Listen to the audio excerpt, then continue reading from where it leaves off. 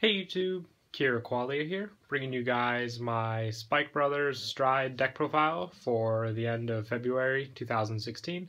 Uh, just finished up this deck from the Technical Booster. It's a really fun deck, uh, using the whole charge uh, mechanic just to push a lot with your units and pretty much push for game with all the attacks you can get off. So let's go ahead and get through the deck profile. Uh, starting off with the stride zone, I run one Dirty Picaro. Uh, he is really a you know end game card just because he requires a GB3 to go off.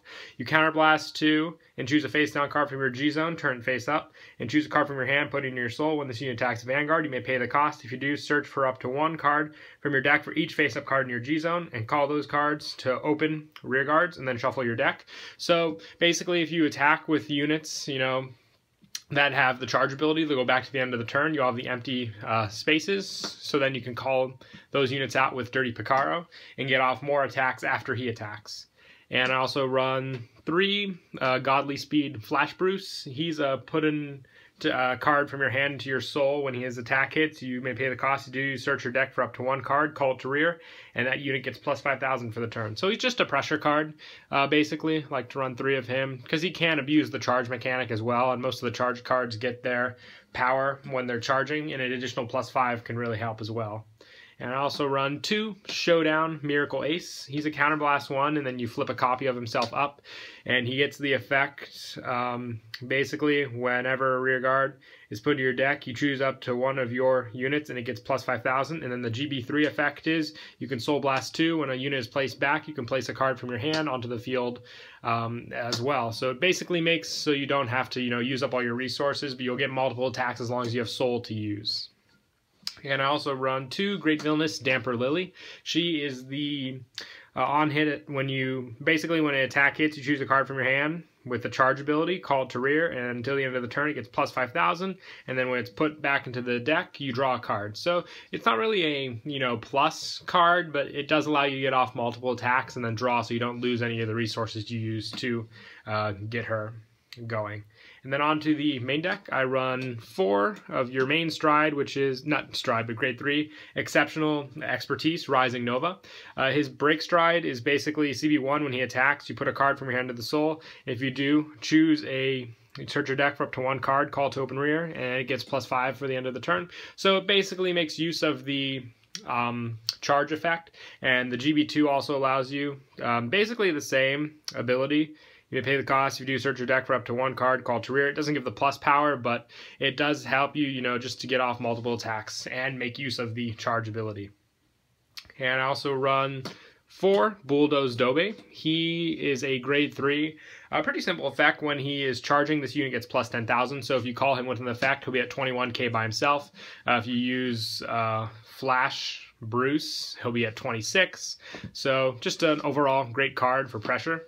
And I also run, for grade 2s, I run 4 Wink Killer Misery. She is the card when boosted, you can counterblast 1 and choose a card from your hand, put into your soul. And when this unit attacks a Vanguard, if it's boosted, you may pay the cost. If you do, search your deck for one card not named Wink Killer call it to an open rear, shuffle your deck, and it gets plus 5,000. So another card that makes use of the charge ability. It's really good, very easy to get off her effect.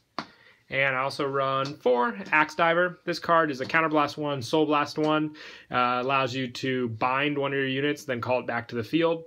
Um, so basically, it has to be charging to activate this effect, but calling it back will, you know, let you reactivate their charge ability. Or, you know, if you done if it didn't have the charge ability, let's say you called it from your hand, so you can bounce it with this card, and then it'll be charging when it's brought back to the field. I had it at three, but found four a lot more consistent and also run four, he three Heavenwees. He is the grade two version of um, Bulldozer Dobe. Uh, so it'll be at 19k by himself when he's charging, which are still pretty good numbers by themselves at least. And then for grade ones, I run four Kissmark Alma. She's the unflip PG. You do counterblast a lot in this deck, so you definitely want to run this perfect guard. And also for Acrobat Verdi, he is the stride enabler. You need to search out for um, your main grade three Rising Nova to be your main Vanguard. If you have the other guy, you're not gonna, you know, have as much consistency, and you'll probably end up losing the game if he's not on your Vanguard. So this card helps with the stride cost and making sure you get the proper grade three. And I also run four Frog Raider. He is a card when a unit with charge is placed in on rear guard um, in the same column as this unit due to an effect. You can stand this, so you can basically attack and boost with this unit, and if another unit's called, restand them and attack by boosting again. And I also run two uh, Node Maker and Yanruk. He is the Uh, another grade one that I like, basically if it's charging, this unit gets plus well, 4,000, and when it's put back into the deck, you choose another of your units, and it gets plus 4. So along with him being, a, you know, good power on its own, you can also give an additional plus 4, which can make or break some attacks with this unit. For example, the grade 2 that has 19, putting it at 23k can matter.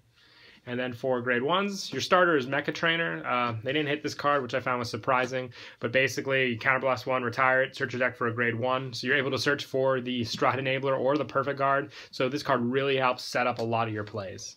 And I also run four Lyre Lips. She is the put in a soul, draw plus five crit if you have uh, Rising uh, Vanguard. So just draw power, soul power as well with this unit. Uh, I want to run three Silence Jokers, but I only have three at the moment, so teching in one Sonic Breaker for now. This is the unflip crit when you put in a soul, uh, choose a damage and unflip it. Uh, four draw, just for a little more consistency with the deck. Eight crit really helps pressure-wise with stride, but uh, draw helps to maintain hand. And four magical manager, just the new heal. So yeah, that's it for the deck profile. Hope you guys enjoyed. Don't forget to like and subscribe, and Kira Qualia.